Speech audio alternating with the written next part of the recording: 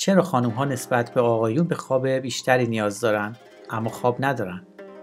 اگه شما یک خانم هستید تا حالا متوجه شدید که نسبت به مردها بیشتر به خواب احتیاج دارید. اگه متعهل هستید حتما قبل از همسرتون به رخت خواب میرید و آیا به مقدار بیشتری نسبت به اون خواب می‌بینید؟ اگه قبلا این موضوع رو توجه کردید و فکر می‌کنید به خواب بیشتری نیاز دارید بدونید که اشتباه نمی کنید. بر اساس تحقیقات انجام شده در مرکز تحقیقات خواب انگلستان خانم ها در واقع به خواب بیشتری نسبت به مردها نیاز دارند. توضیح این مسئله در ارتباط با اتصالات مغزیه. این تحقیق نشون میده که خانم ها به دلیل تمایل به انجام چند کار همزمان در طول روز نسبت به همتایان مردشون نیاز به زمان بیشتری برای خواب دارند. به طور اجتماعی خانم ها چیزهای بیشتری برای نگران شدن دارند و در نهایت این نگرانی ها رو با خود به رخت خواب می‌برند. از جمله کار یا تربیت فرزندها. دوستان سلام به تندرست آنلاین خوش اومدین.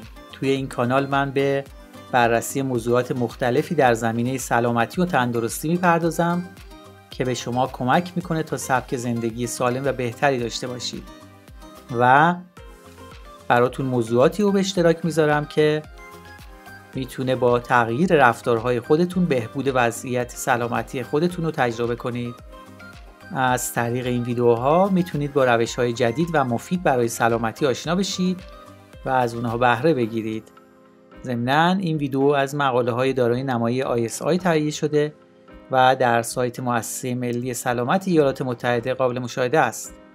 در زیر می‌تونید لینک این مقالات رو ببینید. برای رسیدن به این نتیجه پژوهشگران 210 مرد و زن میان سال رو تحلیل کردند. اونها دریافتند که خانم هایی که کمتر بیخوابند مشکلات سلامتی بیشتری نسبت به مردها دارند. بر اساس تحقیقات عوارض منفی بدخوابیدن در خانم ها بیشتر وجود داره. در خانم ها خواب نامناسب با عدم تعادل هورمونی مرتبطه و بنابراین اونها بیشتر از مسائل فیزیکی و روانشون رنج می‌برن.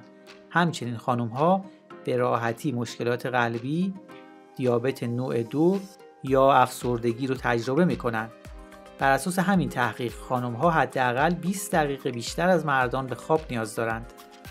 آمارها نشون میدن که حداقل 63 درصد خانم های 30 تا 60 ساله فقط 6 ساعت در روز میخوابند.